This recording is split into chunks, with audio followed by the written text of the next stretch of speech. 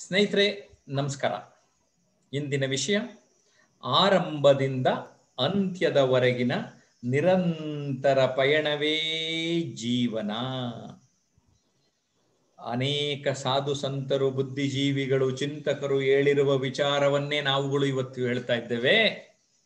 ಏನ್ ಮಾಡ್ತೀವಿ ಅಂದ್ರೆ, ನಾವು we tend to postpone things.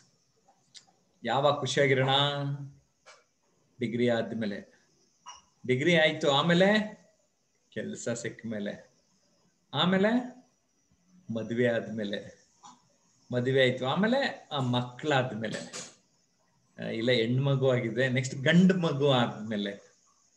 ಆಮೇಲೆ ಅವ್ರ ಮಕ್ಕಳು ಓದಿಸ್ಬಾರ್ದಾ ಓದಿಸ್ಬಿಟ್ಟು ಆದ್ಮೇಲೆ ಖುಷಿಯಾಗಿರೋಣ. ಅವ್ರು ಓದ್ಸಾಯ್ತು. ಅವ್ರಿಗೆ ಮದುವೆ ಆಗಬಾರ್ದಾ? ಅವಾಗ ಖುಷಿ ಆಗ್ತೀವಿ. ಆಯ್ತು, ಮದುವೆ ಆಯ್ತು. ಮತ್ತೆ ಅವ್ರಿಗೆ ಮದುವೆ ಆದ್ಮೇಲೆ ಮಕ್ಳಾಗ್ಬಾರ್ದ ಮಕ್ಕಳಾಯ್ತು ಮಕ್ಳ ಮಕ್ಕಳು ಸ್ಕೂಲಿಗೆ ಸೇರಿಸ್ಕೋಬಾರ್ದ? ನಾನು ಸುಮಾರು ಜನ ನೋಡಿದ್ದೀನಿ, ಅವತ್ತವತ್ತು ಖುಷಿನ ಅನುಭವಿಸೋದು ಬಿಟ್ಟು ಅದಾದ್ಮೇಲೆ ಖುಷಿ ಅನುಭವಿಸೋಣ, ಅದಾದ್ಮೇಲೆ ಸಂತೋಷ ಪಡೋಣ ಅಂತಾರೆ. No it is not like that life is like a journey ಪಯಣ, ಪ್ರಯಾಣ ಪ್ರತಿನಿತ್ಯಗಳು ಒಂದೊಂದು ದಿನದ ಒಂದು ಸ್ಟೇಷನ್ ಆ ಒಂದು ಸ್ಟೇಷನ್ ಪ್ರತಿದಿನ ಬಂದು ಬಂದು ನೋಡ್ತಾ ಇದ್ದೀವಿ, ದಿನಾನ ಎಣಗ್ತಾ ಇದ್ದೀವಿ. ಆ ದಿನವನ್ನ, ಬದುಕನ್ನ ಸರಿಯಾದ ರೀತಿಯಲ್ಲಿ ಕಳೆಯೋಣ. ಸೊ ಇದರ ಅರ್ಥ ಇವೆರಡು ಎಂಡ್ ಪಾಯಿಂಟ್ ಅಂತ ನಾವೇನಾದ್ರು ತಗೊಳ್ಳೋದಾದ್ರೆ ಓಕೆ ಇದನ್ನ ಯಾವಾಗ ನಾವ್ ಹಿಂಗೆ ತಗೊಳ್ತಾ ಹೋಗ್ತೀವಿ? ಹಿಡಿತಕ್ಕೆ ತಗೊಳ್ತೀವಿ ಓಕೆ ಆ, ಪ್ರತಿ ದಿನವೇ, ಅನುಕ್ಷಣವೇ ಏನು ಪ್ರಯಾಣ ಮಾಡ್ತಾ ಇದ್ದೀವಿ? ಆ ಪ್ರಯಾಣದಲ್ಲಿಯೇ ನಾವು ಸಂತೋಷವನ್ನ ಅನುಭವಿಸಬೇಕೇ ಹೊರತು ಅದಾದ್ಮೇಲೆ ಇದೆ ಆವಾಗ ನೋಡೋಣ ಅಂತ ತುಂಬಾ ಪೋಸ್ಟ್ಪೋನ್ ಮಾಡ್ತೀವಲ್ಲ? ಅದು ಬೇಡ. Let us try to experience let us try to enjoy okay the every moment ಅನ್ನೋದನ್ನ ಇಲ್ಲಿ ನಾನು ಜರ್ನಿ, ಪ್ರಯಾಣ, ನಮ್ಮ ಪ್ರತಿದಿನದ ಪ್ರಯಾಣ ಸುಖಕರವಾಗಿರಲಿ ಎಂದು ಹಾರೈಸುವ ಮೇ ಒಂಬತ್ತು ಎರಡ್ ಸಾವಿರದ ಇಪ್ಪತ್ತೊಂದು ನಮ್ಮ ಶಿಬಿರಾರ್ಥಿಗಳು ಆನ್ಲೈನ್ ವರ್ಕ್ಶಾಪ್ ನಲ್ಲಿರುವ ಸ್ನೇಹಿತರು ಏನ್ ಹೇಳ್ತಾರೆ ಇದ್ರ ಬಗ್ಗೆ ಕೇಳೋಣ. ಪ್ರಿಯಾಂಕ್, ಹೇಳಿ. ಬ್ಯೂಟಿಫುಲ್ ಡೇ ಫ್ರೆಂಡ್ಸ್ ಸೊ ಇವತ್ತಿನ ಟಾಪಿಕ್ ಆರಂಭದಿಂದ ಅಂತ್ಯದವರೆಗಿನ ನಿರಂತರ ಪಯಣವೇ ಜೀವನ. J P sir ಹೇಳಿದಾಗೇನೆ life is a journey with problems to solve and lessons to learn but most most of all experience experiences to enjoy ಅಂದ್ರೆ ನಮಗೆ ಲೈಫ್ನಲ್ಲಿ ತುಂಬಾ ಕಷ್ಟಗಳು ಬರುತ್ತೆ. ಹಾಗೆ ತುಂಬಾ ಪಾಠಗಳನ್ನು ಕಲಿತೀವಿ. ಆದ್ರೆ ಇದು ಇದಕ್ಕಿಂತ ಪ್ರಮುಖ ಪಾತ್ರ ವಹಿಸೋದು ನಾವು ಅನುಕ್ಷಣವನ್ನ ಅನು, ಅನುಭವಿಸಬೇಕು ಅಂತ ಹೇಳಿ. ಆ ಎಲ್ಲಾ ಎಕ್ಸ್ಪೀರಿಯನ್ಸ್ ನಾವು ಎಂಜಾಯ್ ಮಾಡ್ಬೇಕು ಅಂತ ಹೇಳಿ. ಹಾಗೇನೆ ನಾವು ಯುಗಾದಿ ಹಬ್ಬದಲ್ಲಿ ನಾವು ಯಾಕೆ ಬೇವು ಬೆಲ್ಲನ ತಿಂತೀವಿ ಅಂದ್ರೆ ನಾವು ಸುಖ ದುಃಖ ಸಮಾನವಾಗಿ ಬರ್ಲಿ, ಅದನ್ನ ಹಂಚ್ಕೊಳ್ಳೋಣ, ಈ ಪ್ರತಿ ಪೂರ್ತಿ ವರ್ಷ ಅದನ್ನ ಸಮಾನವಾಗಿ ಫೇಸ್ ಮಾಡೋಣ ಅಂತ ಒಂದು ಕಾನ್ಸೆಪ್ಟ್ನಲ್ಲಿ ಅದನ್ನ ಮಾಡಿರೋದು. ಹಾಗೆ ಒಂದು ಕನ್ನಡ ಚಿತ್ರದಲ್ಲಿ ಒಂದು ಹಾಡಿದೆ, ಅದೇನು ಅಂತ ಅಂದ್ರೆ, ಏನೇ ಆಗಲಿ ಮುಂದೆ ಸಾಗು ನೀ ಅಂತ. ಅಂದ್ರೆ life is like a E C G machine ಇದ್ದಾಗೆ, ಅದೊಂಥರ roller coaster E C G machine ನೋಡಿರ್ಬೋದು ನೀವು, ಆ ಜಿಗ್ಜಾಗ್ ಅಲ್ಲಿ ಇರುತ್ತೆ. ಸೊ ಲೈಫ್ ಯಾವತ್ತೂ ಫ್ಲಾಟ್ ಆಗಿರೋದಿಲ್ಲ. ಕಷ್ಟ, ಸುಖ ಎಲ್ಲ ಬಂದೇ ಬರುತ್ತೆ. ಅದನ್ನ ನಾವು ಫೇಸ್ ಮಾಡಬೇಕು. ಇದಕ್ಕೊಂದು ಬೆಸ್ಟ್ ಎಕ್ಸಾಂಪಲ್ ಅಂದ್ರೆ ಯುವರಾಜ್ ಸಿಂಗ್ ಹೇಳ್ಬೋದು ನಾವು. ನಾವು ನಿಮಗೆ ಹಾಗೆ ನಿಮ್ಗೆ ಗೊತ್ತಿರೋ ಹಾಗೆ ನಾವು ಭಾರತ ದೇಶ ಸಾವಿರದ ಒಂಬೈನೂರ ಎಂಬತ್ತೆರಡರಲ್ಲಿ ವರ್ಲ್ಡ್ ಕಪ್ ಗೆದ್ದಿದ್ದು. ಅದಾದ ನಂತರ ಗೆದ್ದಿದ್ದು ಎರಡ್ ಸಾವಿರದ ಹನ್ನೊಂದರಲ್ಲಿ. ಎರಡ್ ಸಾವಿರದ ಹನ್ನೊಂದರಲ್ಲಿ, ಆ ಆ ಕಪ್ಪನ್ನ ಗೆಲ್ಲೋದಕ್ಕೆ ಪ್ರಮುಖ ಪಾತ್ರ ವಹಿಸಿದ್ದು ಯುವರಾಜ್ ಸಿಂಗ್. ಅವರು ಮ್ಯಾನ್ ಆಫ್ ದ ಸಿರೀಸ್ ಸಹ ಪ್ರಶಸ್ತಿಯನ್ನು ಸಹ ತೆಗೆದುಕೊಂಡ್ರು. ಸೊ ಅವಾಗ ಅವರು ಉತ್ತುಂಗದಲ್ಲಿದ್ರು. ಅದಾಗಿ ವರ್ಲ್ಡ್ ಕಪ್ ಗೆದ್ದಾಗಿ ಎರಡು ತಿಂಗಳಿನಲ್ಲೇ ಅವರಿಗೆ ಒಂದು ಕ್ಯಾನ್ಸರ್ ಇದೆ ಅಂತ ಗೊತ್ತಾಯ್ತು. ಸೊ ಆ ಲೈಫ್ ನೋಡಿ ಅದು ಒಂದು ಏರಿಳಿತ ಹೇಗಿರುತ್ತೆ ಅಂದ್ರೆ ಒಂದು ಉತ್ತುಂಗಕ್ಕೆ ಏರಿದ್ರು ಅದಾಗಿ ಎರಡೇ ತಿಂಗಳಿಗೆ ಅವ್ರಿಗೆ ಕ್ಯಾನ್ಸರ್ ಅಂತ ಗೊತ್ತಾಯ್ತು. ಸೊ ಅದಕ್ಕೆ ಬಟ್ ಅವರು ಅದಕ್ಕೆ ಕುಗ್ಲಿಲ್ಲ. ಅವ್ರು ಅದಕ್ಕೆ ಟ್ರೀಟ್ಮೆಂಟ್ ತಗೊಂಡ್ರು, ಆ ಕ್ಯಾನ್ಸರ್ ಅನ್ನ ಸಹ ಗೆದ್ರು. ಆನಂತರ ಮತ್ತೆ ಭಾರತ ದೇಶಕ್ಕೆ ಆಡಿದ್ರು. ಇತ್ತೀಚೆಗೆ ಎರಡ್ ಸಾವಿರದ ಹತ್ತೊಂಬತ್ತರಲ್ಲಿ ಅವರು ರಿಟೈರ್ ಆದ್ರು.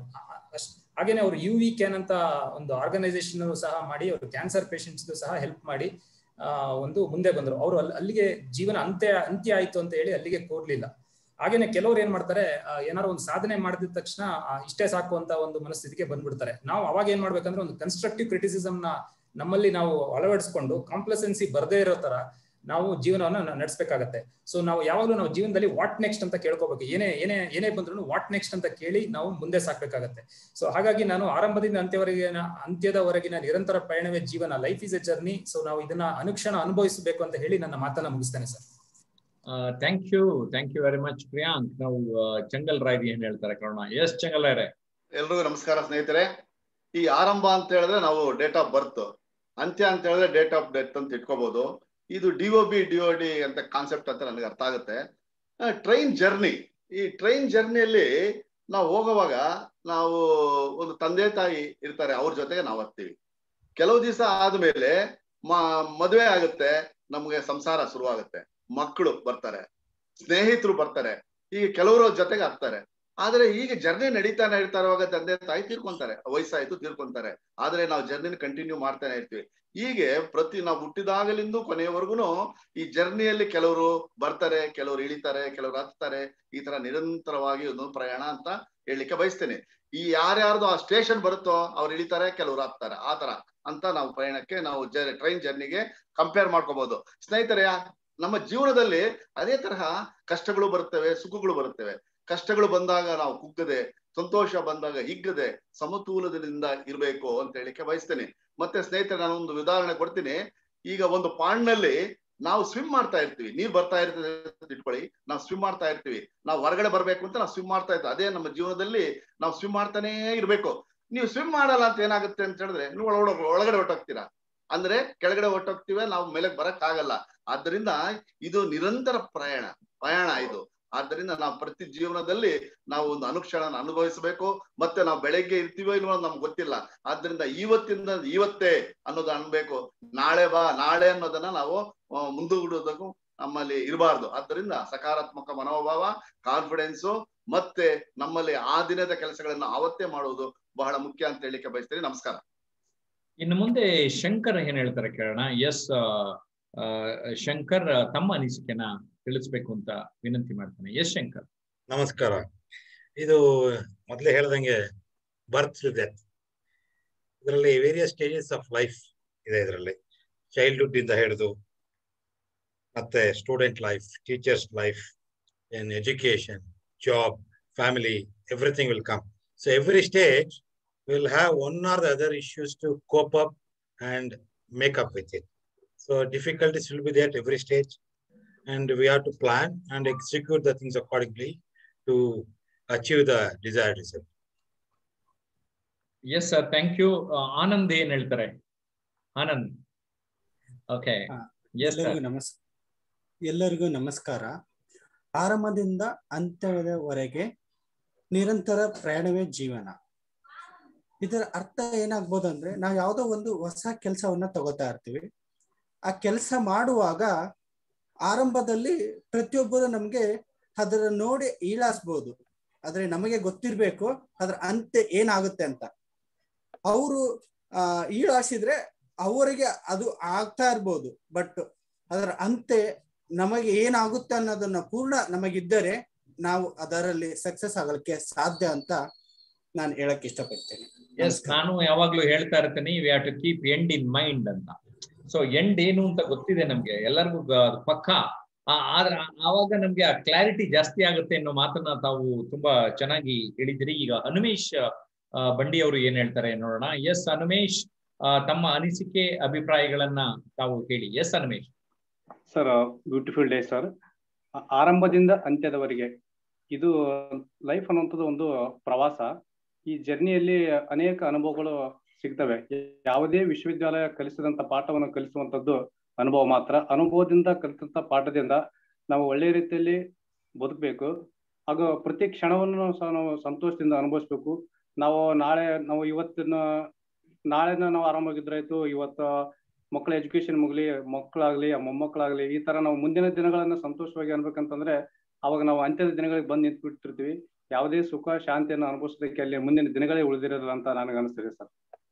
Yes Hanumesh you are correct ಈಗ ನಮ್ಮ ಬಾಬು ಅವ್ರು ಏನ್ ಹೇಳ್ತಾರೆ ಕೇಳೋಣ. ಎಸ್ ಬಾಬು. ಸರ್, ಎಲ್ಲರಿಗೂ ನಮಸ್ಕಾರ. ಆರಂಭ ನಾವು ಆರಂಭ ಹೇಗ್ ಸ್ಟಾರ್ಟ್ ಮಾಡಬೇಕು? ಪ್ರತಿದಿನ ನಾವು ಸಂತೋಷವಾಗಿ ಸ್ಟಾರ್ಟ್ ಮಾಡಬೇಕು.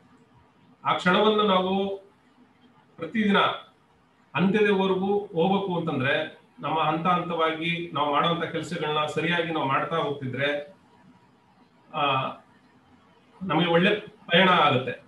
ಇಲ್ಲಿದ್ರೆ ಅದು ಒಂಥರ ನರಕದ ತರ ಅನ್ಸುತ್ತೆ. ನಾವು ನಾವು ಹೆಂಗ್ ಬೇಕೋ ಹಂಗ್ ಮಾಡ್ಕೊಳ್ಳೋದು ಅದನ್ನ. ಸೊ ಹಾಗಾಗಿ ಯಾವಾಗ್ಲೂ ಸಂತೋಷವಾಗಿ ಮಾಡ್ಬೇಕು ಅಂತ ಹೇಳ್ತಾ ನಾನು ಮುಗಿಸ್ತೀನಿ sir. Yes thank you Babu ಈಗ ಆ, ವೆಂಕಟೇಶ್ ಏನ್ ಹೇಳ್ತಾರೆ ಕೇಳೋಣ. ಎಸ್ ವೆಂಕಟೇಶ್ ನಮಸ್ಕಾರ. ಸರ್ ಎಲ್ಲರಿಗೂ ನಮಸ್ಕಾರ. ಆರಂಭದಿಂದ ಅಂತ್ಯದವರೆಗೆ ಪಯಣವೇ ನಿರಂತರ ಪಯಣವೇ ಜೀವನ. ಪ್ರತಿಯೊಬ್ಬ ಮನುಷ್ಯನು ಹುಟ್ಟಿದಾರಭ್ಯದಿಂದ ಆ ಒಂದು ಏನೋ ಒಂದು ಹದಿನಾಲ್ಕು ಹದಿನೈದು ವರ್ಷದವರೆಗೆ ಒಂದು ಬುದ್ಧಿ ಅಂತ ಬಂದ ಮೇಲೆ ಆ, ಒಳ್ಳೆ ರೀತಿಯಿಂದ ಜೀವನ ನಡೆಸ್ಕೊಂಡು ಹೇಗಿದ್ರು ಜೀವನ ಕಳೆದೋಗುತ್ತೆ. ನಾವು ಯಾವುದೇ ರೀತಿಯಿಂದ ಇದ್ರೂ ಜೀವನ ಅನ್ನೋದು, ಆಯುಷ್ ಅನ್ನೋದು ಮುಗ್ದೋಗುತ್ತೆ. ಬಟ್ ಏನಂದ್ರೆ, ಆ ಬುದ್ಧಿ ಬಂದಾರ ಬಿದ್ದಿಂದ ಒಳ್ಳೆ ರೀತಿಯಿಂದ ಆ ದಿನಗಳನ್ನ ಸಂತೋಷವಾಗಿ ಕಳ್ಕೊಂಡು ನಾವು ಏನೇ ಸಾಧನೆ ಮಾಡೋದು ಇದ್ರೇನು ಅದನ್ನ ಆ ದಿನಗಳಲ್ಲಿ ಸಾಧನೆ ಮಾಡ್ಕೊಂಡು ಹೋದ್ರೆ ಅದೇ ಒಂದು ಜೀವನ, ಒಂದು ಜೀವನದ ಕೊನೆಯಲ್ಲಿ ಒಂದು ನಮ್ಗೆ ಒಂದು ಪರಿಪೂರ್ಣತೆ ಸಿಗುತ್ತೆ ಅನ್ನೋದು ನನ್ನ ಉದ್ದೇಶ ಸರ್. ಎಲ್ಲರಿಗೂ ನಮಸ್ಕಾರ. ಎಸ್ ತುಂಬಾ ಚೆನ್ನಾಗಿ ಹೇಳಿದ್ರಿ. ಈಗ ಲೋಕೇಶ್ ಏನ್ ಹೇಳ್ತಾರೆ ನೋಡೋಣ. ಎಸ್ ಲೋಕೇಶ್, ನಮಸ್ಕಾರ. ಎಲ್ಲರಿಗೂ ನಮಸ್ಕಾರ. ಆರಂಭದಿಂದ ಅಂತಿದ್ದು ನಿರಂತರ ಪಯಣವೇ ಜೀವನ. ಇದು ಒಂದು ಒಳ್ಳೆ ಟಾಪಿಕ್ ಇದು ನಮ್ಮ ಜೀವನ ಏನು ಅಂತಂದ್ರೆ, ಹರಿಯೋ ನೀರ್ ತರ ಇರ್ಬೇಕು ಅಂತ ಹೇಳ್ಬೋದು. ಅಂದ್ರೆ, ಆ, ನಮ್ಮ ಬಾಲ್ಯದಲ್ಲಿ ನಾವು ಗುರುಗಳಿಂದ ಒಂದು ಮಾರ್ಗದರ್ಶನ ಪಡಿತೀವಿ. ಮತ್ತೆ ನಮ್ಮ ತಂದೆ ತಾಯಿಯಿಂದ ಮಾರ್ಗದರ್ಶನ ಪಡಿತೀವಿ. ಮತ್ತೆ ಅದಾದ್ಮೇಲೆ ನಾವು ಕೆಲ್ಸಕ್ಕೆ ಸೇರಿದಾಗ ಹಿರಿಯರಿಂದ ಮಾರ್ಗದರ್ಶನ ಪಡಿತೀವಿ. ಹಿಂಗೆ ನಮ್ಮ ಜೀವನದಲ್ಲಿ ಕೆಲವು ದಿನಗಳಲ್ಲಿ ಕೆಲವು ಸ್ನೇಹಿತರು ಬರ್ತಾರೆ, ಹೋಗ್ತಾರೆ. ಅಂದ್ರೆ ನಮ್ಮ ನಮ್ಮಲ್ಲಿ ತಾಳ್ಮೆ ಬಹು ಮುಖ್ಯ ಅಂತ ನಾನು ಹೇಳಕ್ ಇಷ್ಟಪಡ್ತೀನಿ. ತಾಳ್ಮೆ ಮತ್ತೆ ಸಮಯ ಪ್ರತಿದಿನವೂ ನಮ್ಗೆ ಹೆಚ್ಚಿನ ಪಾಠ ಕಲಿಸ್ತದೆ ಅಂತ ನಾನು ಹೇಳಕ್ಕೆ ಇಷ್ಟಪಡ್ತೀನಿ. ಎಸ್ ಲೋಕೇಶ್ ಥ್ಯಾಂಕ್ ಯು ಇಲ್ಲಿರುವ ನಮ್ಮ ಎಲ್ಲ ಸ್ನೇಹಿತರು ತುಂಬಾ ಚೆನ್ನಾಗಿ, ಸೊಗಸಾಗಿ ಅವರ ಅನುಭವವನ್ನ, ಅನಿಸಿಕೆಯನ್ನ ಹಂಚಿಕೊಂಡಿದ್ದೀರಿ. ಹೀಗಾಗಿ ನಿಮ್ಮೆಲ್ಲರ ಅನುಭವಗಳನ್ನ ಹಂಚಿಕೊಂಡಿದ್ದಕ್ಕಾಗಿ ನಿಮಗೆ ಧನ್ಯವಾದಗಳನ್ನ ಸಲ್ಲಿಸ್ತಾ ಯೂಟ್ಯೂಬ್ ನೋಡ್ತಾ ಇರುವಂತಹ ವೀಕ್ಷಕರು ನಿಮ್ಗೇನ್ ಅನ್ನಿಸ್ತು? ನಿಮ್ಮ ಕಾಮೆಂಟ್ ಅನ್ನು ಕೂಡ ಇಲ್ಲಿ ಡಾಕ್ಯುಮೆಂಟ್ ಮಾಡಿ ನಾವು ಗಮನಿಸ್ತೇವೆ. ಪ್ರತಿಕ್ರಿಯೆಯನ್ನ ನೀಡ್ತೇವೆ. ಲೈಕ್ ಮಾಡಿ ಶೇರ್ ಮಾಡಿ ನಾಲ್ಕಾರು ಜನಕ್ಕೆ. ಜಯಪ್ರಕಾಶ್ ನಾಗತಿಹಳ್ಳಿ ಹಾಗೂ ಬಿಸ್ನೆಸ್ ಸ್ಪೀಕರ್ಸ್ ಯೂಟ್ಯೂಬ್ ಚಾನೆಲ್ಗಳನ್ನ ಸಬ್ಸ್ಕ್ರೈಬ್ ಮಾಡಿ. ನಿಮ್ಗೆಲ್ರಿಗೂ ಒಳ್ಳೇದಾಗ್ಲಿ. ನಮಸ್ಕಾರ.